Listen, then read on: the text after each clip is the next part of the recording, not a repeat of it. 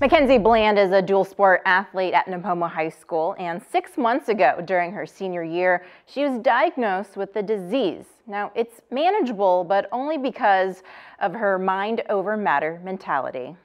It's kind of frustrating and a little embarrassing, not gonna lie.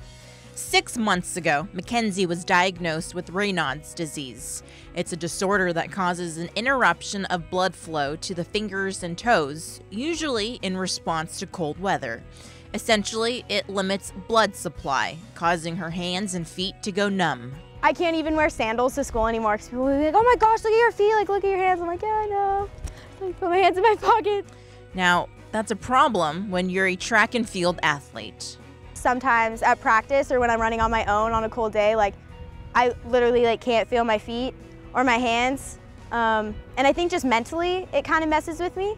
Fortunately, Mackenzie is the team captain and has experience managing challenges.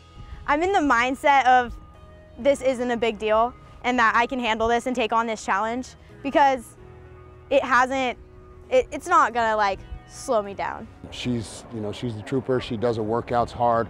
Um, she's always in front with, of the girls group, leading them. So with that, you know, I don't see it really slowing her down. I see her rising to the challenge and really accepting it and, you know, not, not letting it stop her. Mackenzie's ability to rise to the challenge is based off her mentality of the situation. I'm very optimistic about situations. And so that's why I think like when I've been told, oh, you have Raynaud's disease, it's like, okay, but you know, look at all these other things that are going well in my life. Like this isn't something that's going to stop me from being successful. Now this is an ongoing process for Mackenzie. She's had several doctor visits for different tests and has another visit in a couple of weeks. But not letting it slow her down. Oh, I love her attitude. I was going to say, she has a great attitude for yes. everything that's going on. I think mm -hmm. a lot of us could learn something from that last thing she said. Yes, every day, Absolutely. really. yeah. Thanks, Jessica.